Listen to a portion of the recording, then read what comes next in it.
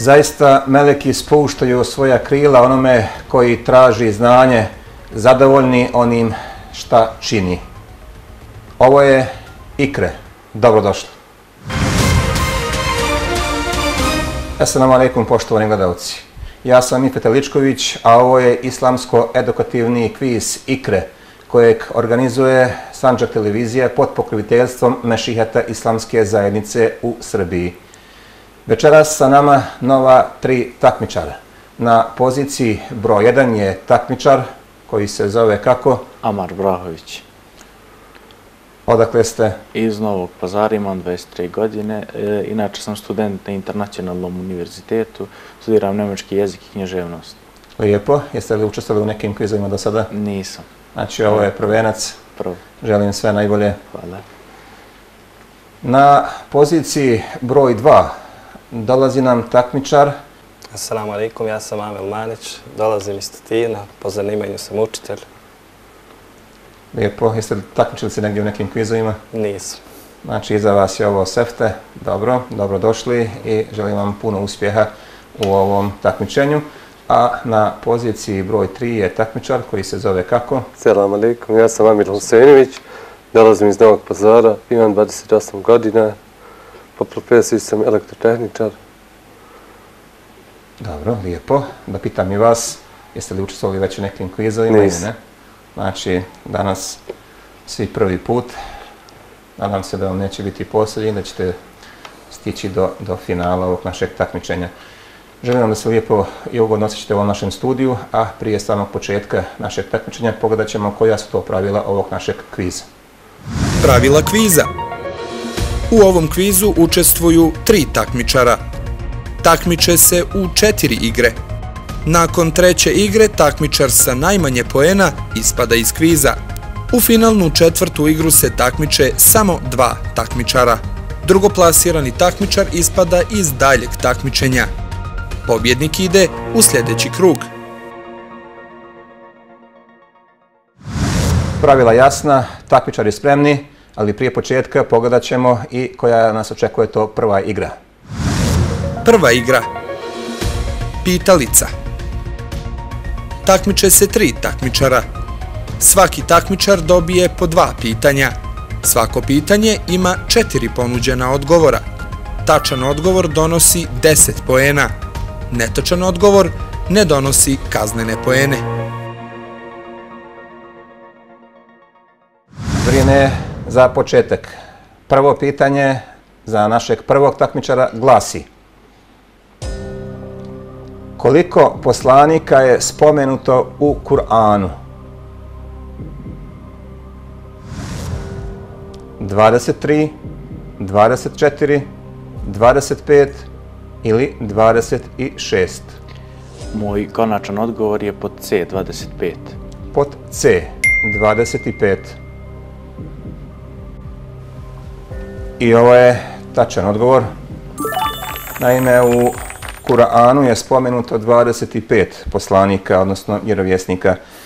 Adem, Nu, Idris, Salih, Ibrahim, Hud, Lut, Yunus, Ismail, Ishak, Jakub, Jusuf, Ejub, Šuajb, Musa, Harun, Eljese, Zulkifl, Davud, Zekerija, Sulejman, Ilijas, Jahja, Isa i Muhammed sallallahu alaihi wa sallam.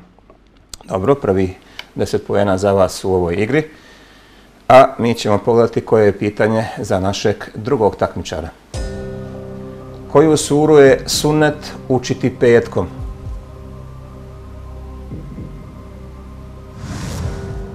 Kehf, Merijem, Jusuf ili Mulk? Pod A, Kehf. Pod A, Kehf. I ovo je tačan odgovor. Deset pojena i za vas u ovoj našoj prvoj igri.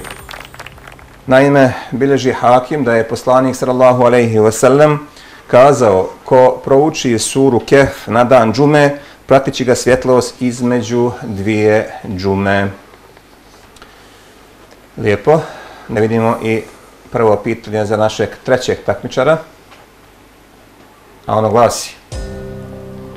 Vrata u džennetu na koja će ulaziti postači zovu se Rejan, Tesnim, Naim ili Neđm. Moj konačan odgovor je pod A, Rejan. Pod A, Rejan. I ovo je tačan odgovor, da se pojena i za vas. Naime, prenosi Sehl radijallahu anhu da je poslanik sallallahu alaihi wasallam rekao u džennetu imaju vrata koja se zovu Rejan, na koja će samo ući postači na sudnjem danu, pa kada uđu ona će se zatvoriti i niko više na njih neće ući. Bileži Buharija. Dobro, fino vam to ide. Svi ste osvojili svojih prvih deset pojena. Idemo u drugi krug. Prvo, drugo pitanje za našeg prvog takmičara glasi. Najviši dio dženneta se zove Firdeus, Keusar, Ihlas ili Ridvan. Moj odgovor je pod A, Firdeus. Pod A, Firdeus. Nije Ridvan, ne? Ridvan nam je kamerman. Ali dobro. Ovo je tačan odgovor. Novih deset pojena za vas. Naime, poslanik sallallahu alejhi ve sellem je rekao kada budete od Allaha molili džennet, tražite Firdeus, jer to je najviši i srednji dio dženneta, odakle izviru rijeke i čiji je krov arš svevišnjega. Dobro, maksimalni 20 pojena u ovoj igri, čestitam. A da vidimo pitanje za našeg drugog takmičara. Ono glasi. Koliko džehennem ima vrata?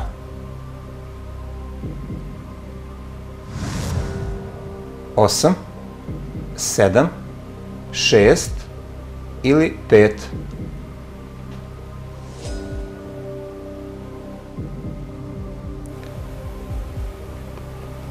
Šta mislite? Niste sigurni? Znate li koliko džennet ima vrata? Neka, neka bude pod A. Osam. Pod A. Mislite da ima isto? Dobro. Pod A. Osam.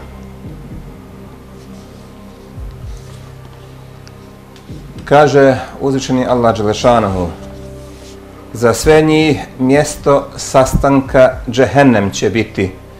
On će sedam kapija imati i kroz svaku će određen broj njih proći. Dakle, ovo je nažalost netočan odgovor. Džehennem ima sedam kapija, odnosno vrata. Dobro, ništa strašno, imaš puno pitanja do kraja. Sve se to da, sve se to da stići. A mi ćemo pogledati i posljednje pitanje u ovoj našoj prvoj igri, a ono je namjenjeno našem trećem takmičaru i glasi Koliko meleka će na sudnjem danu nositi arš Allahovo prijestolje? Osam, sedam, osamdeset ili sedamdeset?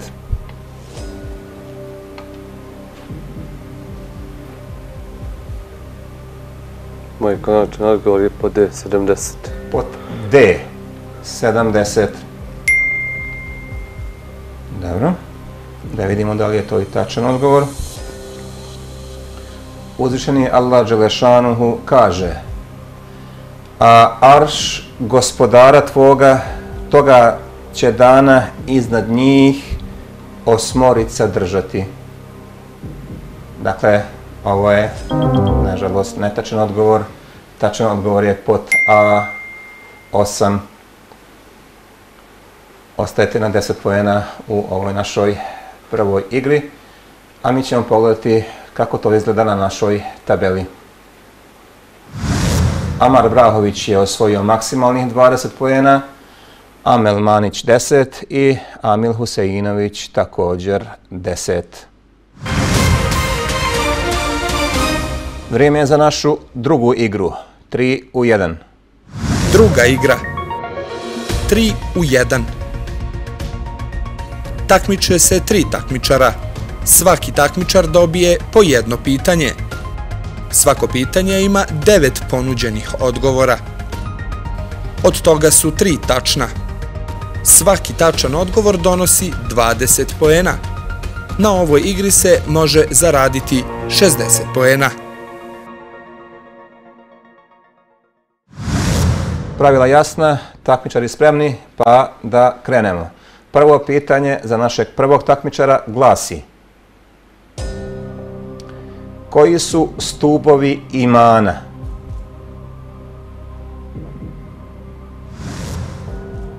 Vjerovanje u kadr, post, vjerovanje u meleke, hađ, vjerovanje u knjige, zekat, namaz u džematu, sadakatul fitr ili borba na Božijem putu. Stubovi imana su vjerovanje u kader, vjerovanje, Vjerovanje u kadar. Dalje. vjerovanje u knjige Vjerovanje u knjige. i vjerovanje u meleke. Vjerovanje u meleke. Dobro.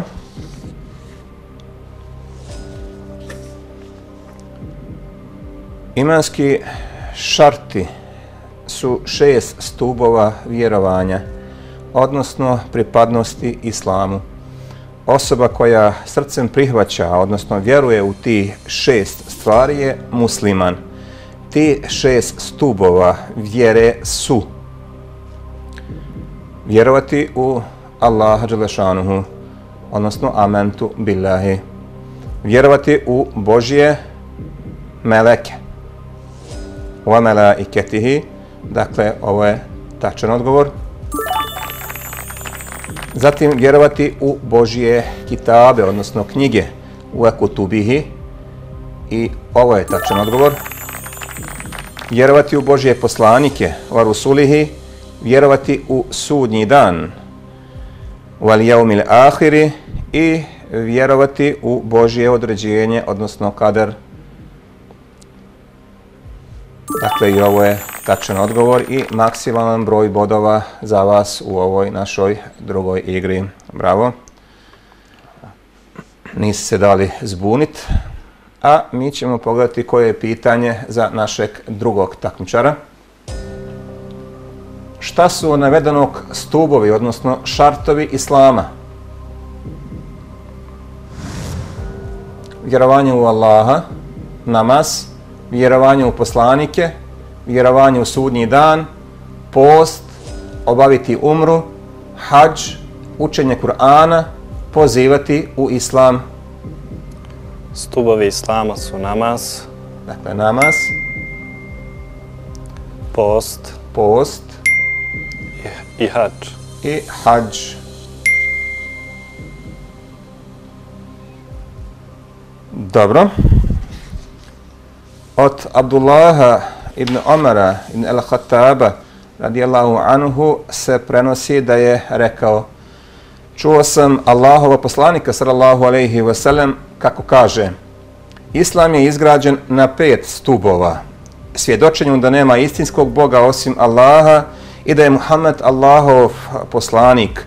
Obavljanje namaza, davanje zekijata, hodočašću Kjabe i postu mjeseca Ramazana. Dakle, namaz, post i hađ su tačni odgovori. I za vas maksimalan broj bodova. Fino nam to ide, mada su pitanja dosta bila laka, ali morali smo jednostavno da tretiramo i ove teme, rat naših gledalca. A idemo i na pitanje za našeg trećeg takmičara, a ono glasi. Koja pitanja će se postaviti u kaburu?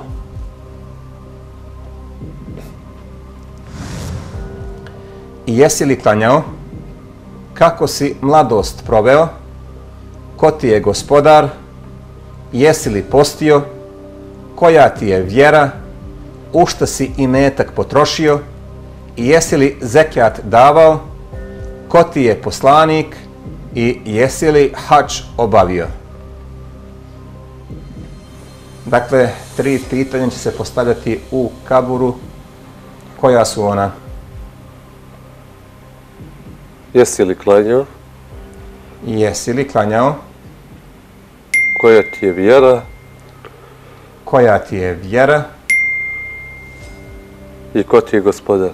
I ko ti je gospodar? Dobro. Opisujući dješavanje u kaburu i pitanja na koja će vjernik znati odgovor, poslanik između ostalog kaže pa se potom pojave dvojica meleka, posjednu ga i upitaju ko je tvoj gospodar? Dakle, ovo je tačan odgovor. Jedno od pitanja će biti ko ti je gospodar.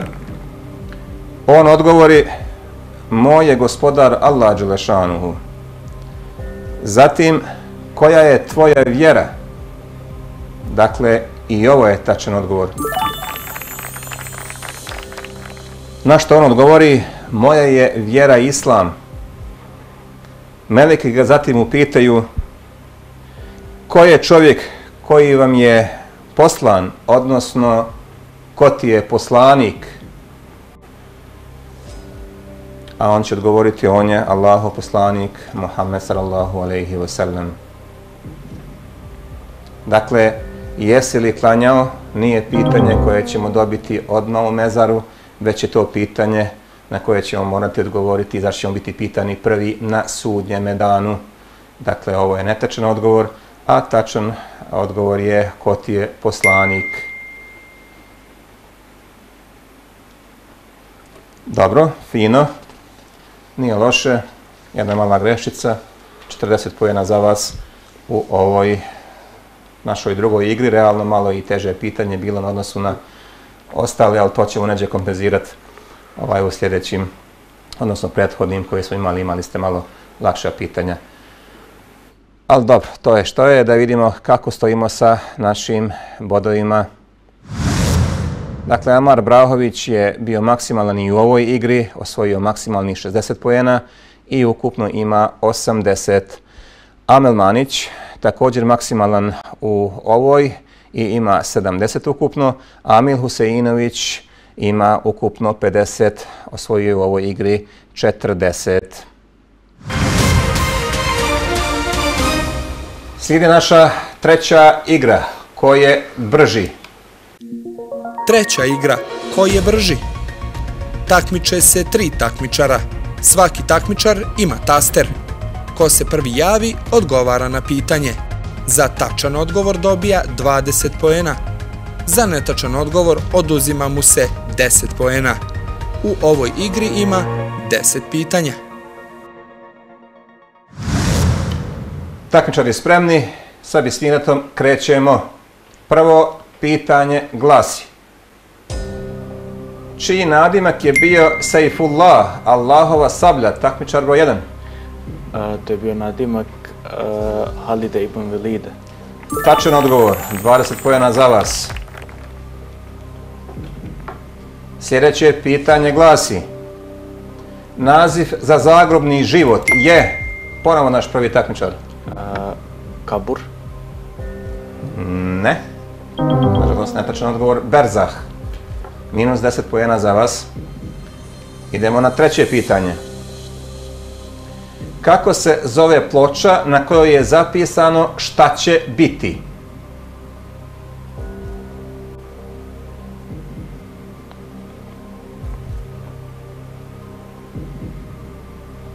Hm? Niko? Moram ja. Leuhi Mahfuz. Dobro, verovatno se čuli, ali trenutno ne može da, da padne na pamet. Ništa, idemo na sljedeće pitanje. A ono glasi, ko su bili Havari Juni?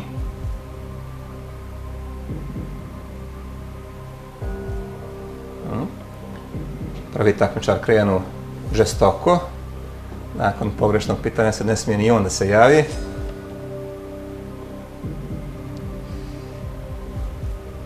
Ništa, opet ja. To su bili drugovi Isa, alaihissalama. Znači njegovi ashabi. Dobro. Idemo dalje.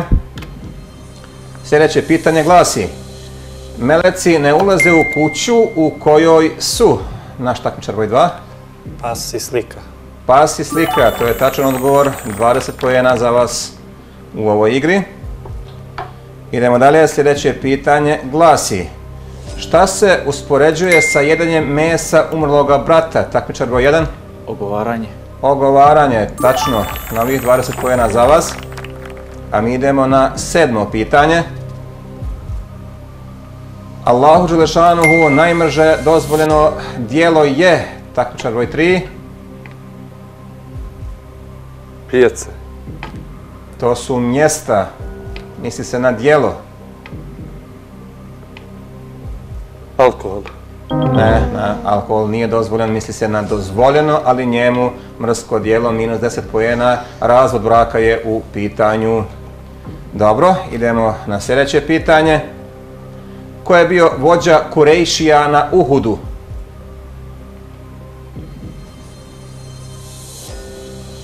Ponovo mirni tasteri. Takmičar broj 2. Ebu Leheb. Ebu Leheb, nažalost nije. Jedan drugi Ebu Sufjan, minus 10 pojena za vas. Da idemo deveto pitanje. Glasi, koji poslanik je umro naslonjen na svoj štab u stojećem položaju? Naš takmičar broj 1. Sulejman alaih salam. Sulejman alaih salam, tačan odgovor na ovih 20 pojena za vas. I posljednje pitanje u ovoj našoj trećoj igri glasi koji je najuzvišeniji ajet u Kur'anu. Kako smo počeli, tako i završavamo. Naš takmičar broj 1. Ajetul kursiju. Ajetul Kursi. Tačan odgovor i novih 20 pojena za vas. Čestitam. Da vidimo kako stojimo sa bodovima nakon ove naše treće igre.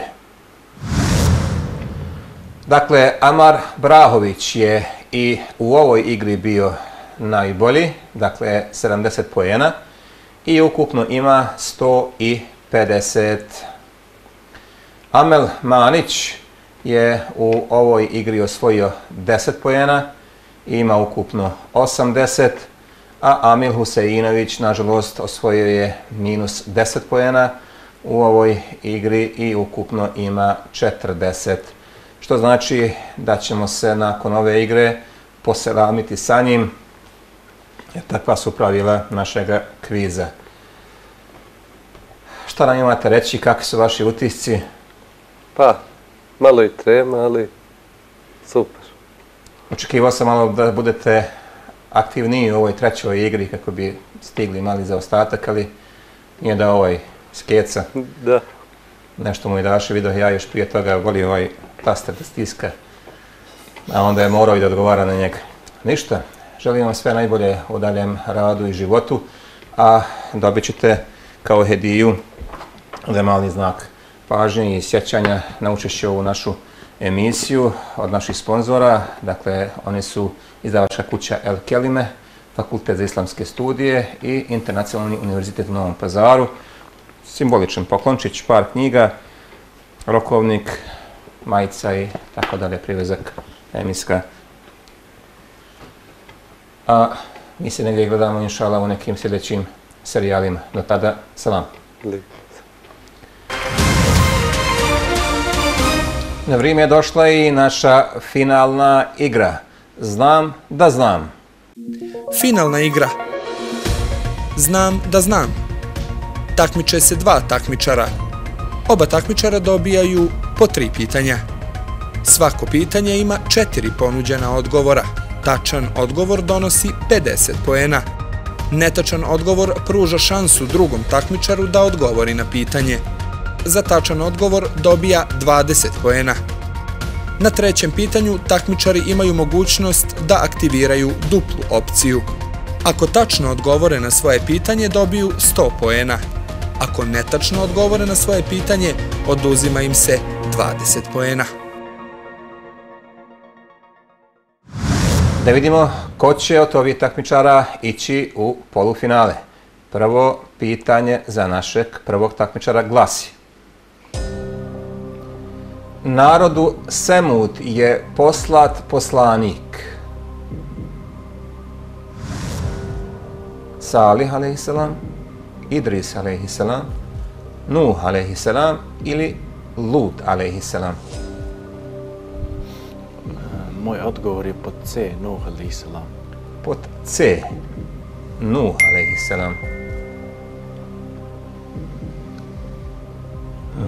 Nažalost, ovo nije tačan odgovor. Priliku ima drugi takmičar da odgovori na ovo pitanje i ukoliko odgovori, uzet će 20 pojena. Da čujemo da li znate vi tačan odgovor. Mislim da je pod D, Lut. Pod D, Lut, alaihi salam.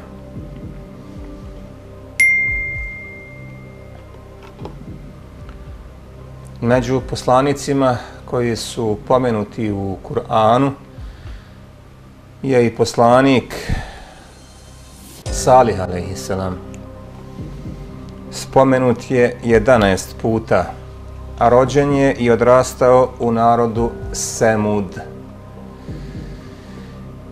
Semudu smo kao vidljivo čudo Kamilu dali, ali oni su prema njoj zulum učinili.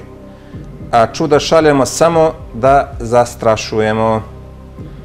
El Isra, 59. ajet. Zatim Allah dalje kaže, ostali su zapanjeni ovim čudom, ali samo malo njih je povjerovalo i zade se ih strašan, strašan potres i oni u zemlji svojoj osvanuše mrtvi, nepomični. Ele Araf, 78. ajet. Ovo sam citirao da bi shvatili da tragovi Semuda su ostali vidljivi do dana današnjeg. Naime, oko 380 km sjeverozapadno od Medine postoji Meda i Nusalih, mjesto gdje je narod Salihov nekada živeo. Dakle, tačan odgovor je Salih, a.s. a vi ste ostali bez spojena na ovo prvo pitanje, kako jedan, tako i drugi takmičar. Dobro. Idemo dalje. Prvo pitanje za našeg drugog takmičara glasi u Medjen je poslat koji poslanik?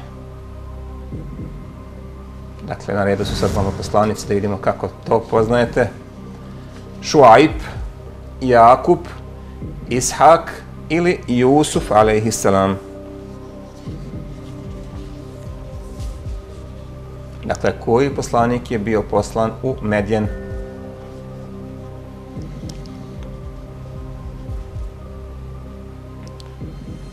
A, Šuaib. Pod A, Šuaib. Prvo da vidimo šta je Medjen, gdje je Medjen. Dakle, Medjen je dobio naziv po Medjenu, sinu, izvinjavam se, sinu Ibrahimovom. Kasnije generacije njihovih potomaka skrenuše sa pravoga puta. Tako se vremenom među njima ponovo ukorijenilo idolopoklonstvo. Allah Đelešanuhu, i svoje neizmjerne milosti poslao im je Šuajba, alaihissalama, kako bi ih pozvao na pravi put. Dakle, ovo je tačan odgovor i osvojili ste 50 poena. Dobro. Da vidimo kako glasi drugo pitanje za našeg prvog takmičara.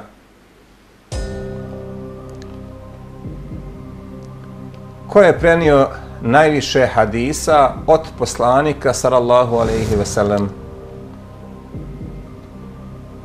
Aisha radijallahu anha Abu Hurajre radijallahu anhu Abdullah ibn Abbas radijallahu anhu Anas ibn Malik radijallahu anhu uh, Moj odgovor je pod B Abu Hurajre radijallahu anhu Pod B Abu Hurajre radijallahu anhu Dobro. Da vidimo da li je ovo tačan odgovor. Sedam ashaba koji su prenijeli najviše hadisa su Ebu Sa'id al-Hudri 1170 hadisa. Džabir ibn Abdullah 1050 540 hadisa. Abdullah ibn Abbas 1660 hadisa. Aisha radijallahu anha, majka vjernika, 2210 hadisa. Zatim slijedi Enes ibn Malik radijallahu anhu, 2286 hadisa. Zatim Abdullah ibn Umar sa 2630 hadisa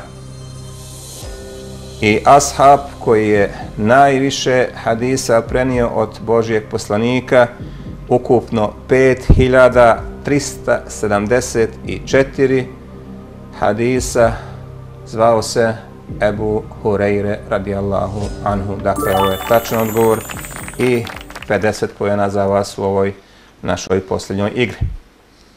Dobro.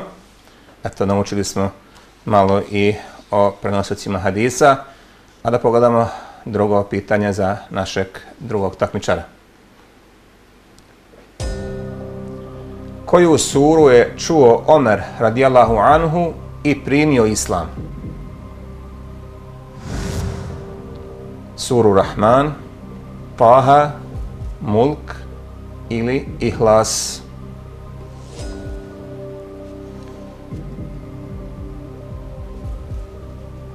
Je znate za događaj primanje Omera, primanje Islama, Omera radijallahu anhu.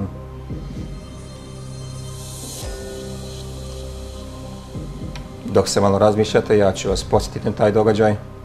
Dakle, poznata verovatno je priča i našim gledalcima da je Omer radijallahu anhu krenuo da ubije poslanika sallallahu alaihi wasallam, a usput mu je neko rekao da su njegova sestra i zet primili islam, te je on prvo otišao do njih, unutra se učio Kur'an, zatražio je da mu daju da pročita i da vidi šta to u njemu piše, dali su mu listove na kojima su bili ispisani ajeti koje sure.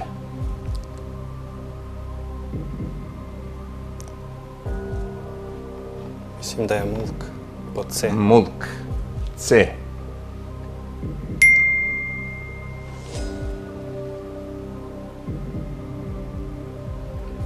Nažalost, ovo je netačan odgovor. Pružit ćemo priliku prvom takmičaru da odgovori na pitanje. Ukoliko bude znao, dobit će 20 pojena. Mislim da je odgovor pod B, Taha. Pod B, Taha. Da vidimo da li je to. Dakle, Omar radijallahu anhu je uzeo te suhup, suhupe, odnosno listove i na njima je pročitao Ja sam u istinu Allah, drugog Boga osim mene nema, zato se samo meni klanjaj i molitvu obavljaj, da bih ti uvijek na umu bio. Čas oživljenja će sigurno doći, od svakoga ga tajim, kad će svaki čovjek prema trudu svome nagrađen ili kažnjen biti. A ovi ajeti su iz sure Taha. Dakle, ovo je tačan odgovor i 20 pojena za vas. Čestitam. A prije nego što krenemo u posljednji, posljednji krug pitanja, odnosno treće pitanje, pogledat ćemo kako stojimo sa našom tabelom da znate da li da uložite duplo ili ne. Dakle, Amar Brahović je u ovoj igri osvojio 70 pojena do sada i ima 220, dok Amel Manić ima 130 u ovoj igri i osvojio 50 pojena. Ništa još nije rešeno. Ovo pitanje će odlučiti pobjednika. Pitanje za našeg takmičara, ali prije toga da ga pitam ili ulaže duplu opciju ili ne. Ulaže. Dobro. Znači, aktivirana dupla opcija i pitanje za vas glasi. Bitka na Hendeku se još zove i Ahzab, Ashab, Zilzal ili Bejan. Moj odgovor je pod A, Ahzab. Pod A, Ahzab. Dakle, pete godine po Hidžri protiv Muhammeda sallallahu alaihi ve sellem i muslimana ujedinjeni su se jevreji, kurejšije i plemena, arapska plemena. Zato se bitka zove saveznici. A to se na arapskom kaže Ahzab. Ovo je tačan odgovor i 100 poena za vas. Svaka čast. Dakle, Ebu Sufjan izlazi iz Mekke sa 4000 vojnika, među kojima je bilo 300 konjenika i 1500 deva. Pleme Gatafan, veliko arapsko pleme, dolazi sa 3000 ljudi. Pleme Ešđa sa 300. Pleme Benu Sulejm sa 700. Na kraju se broj neprijatelja koji su napali muslimane popio na 10.000. Do Rasulullah sallallahu alejhi ve sellem došla je vijest o neprijateljskom pohadu na Medinu.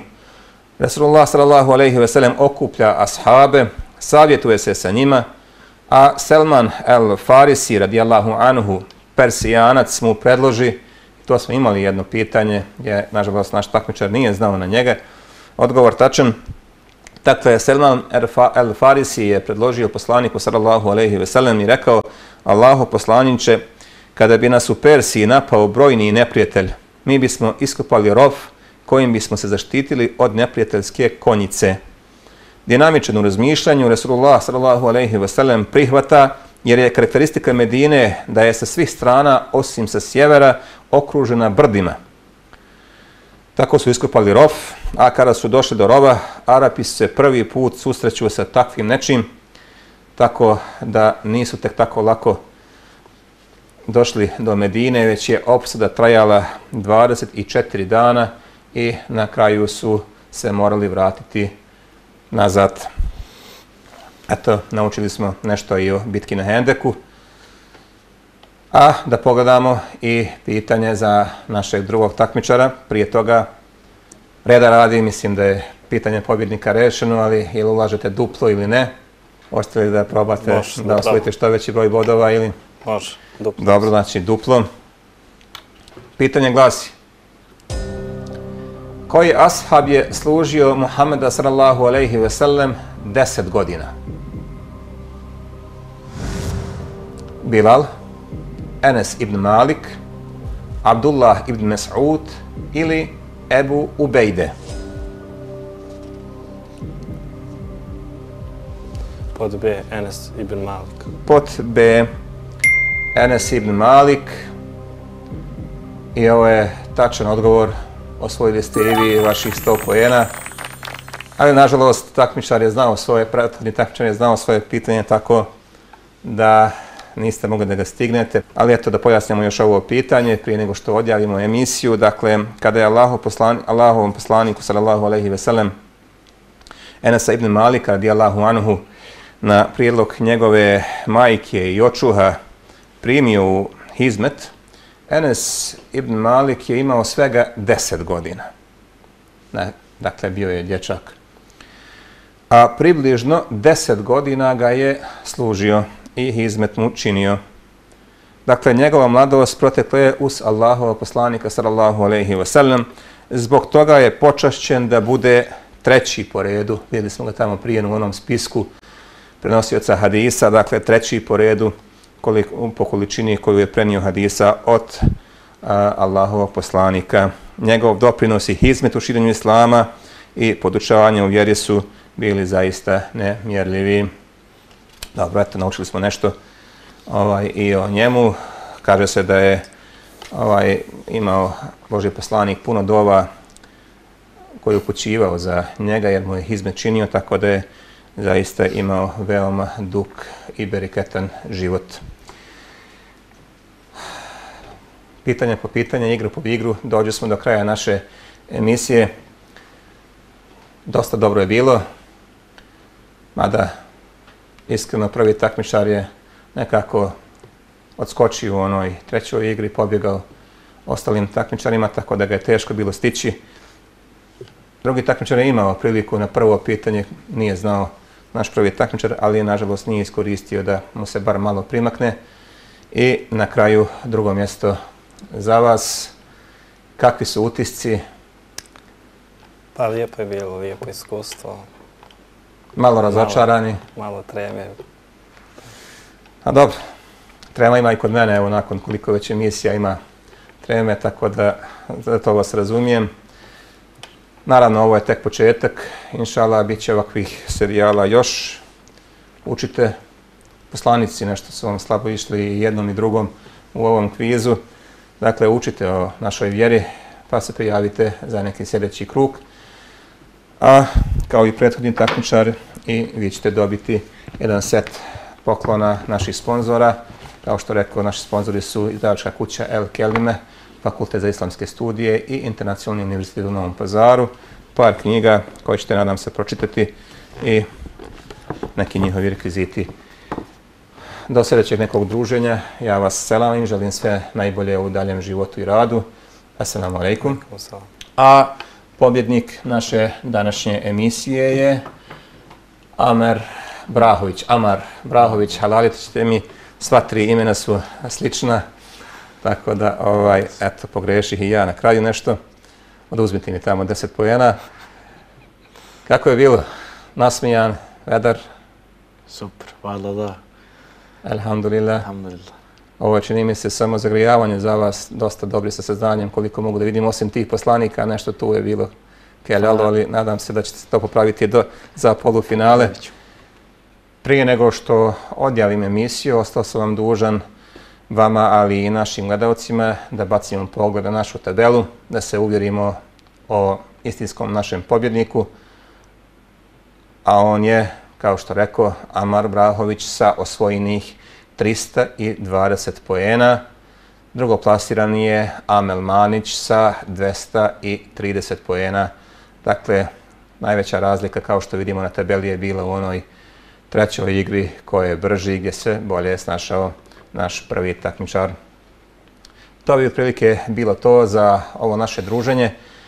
Vama, poštovani gledalci, hvala na pažnji i do sljedećeg druženja. Assalamu alaikum wa rahmatullahi wa barakatuhu.